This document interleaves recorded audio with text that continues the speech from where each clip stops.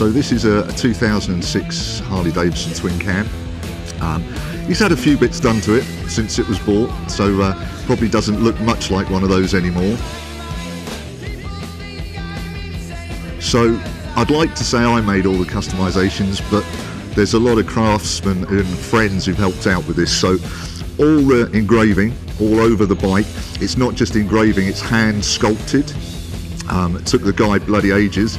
Um, his name's Roy Mottram from Plymouth, very talented guy.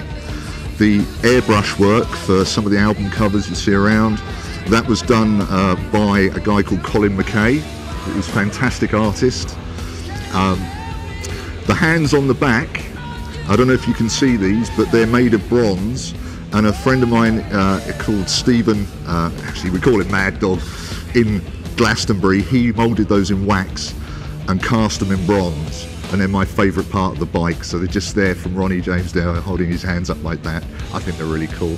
And, and yeah, there's lots of other bits. We had some discs made up that have got all the crosses in and a pentagram, and that was done by the disc doctor, a guy called Dean there, fantastic guy.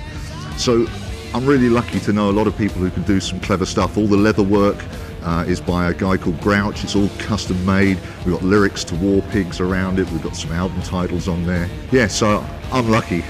Even a friend of mine, Billy Mills, he uh, he cut out this master cylinder cover and we put a plectrum in that, and I think that looks nice. It's just little things that you kind of mean a lot to you.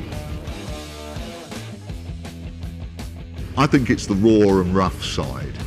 Uh, it's it's very honest. It's very um, industrial, if you like. I think a lot of bikers identify with it because they've never been in style, so they'll never go out of style, and that is that is definitely the case.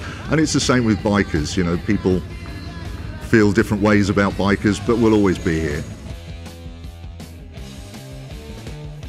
Oh, absolutely. I, mean, you, you've you've got the capital of it here. You know, you'd be crazy not to absolutely capitalise on that. So it's fantastic they've done the show, and I can't get over what they've done in this place.